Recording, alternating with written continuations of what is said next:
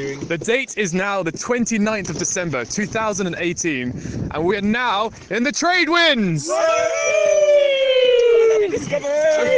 heading on a bearing of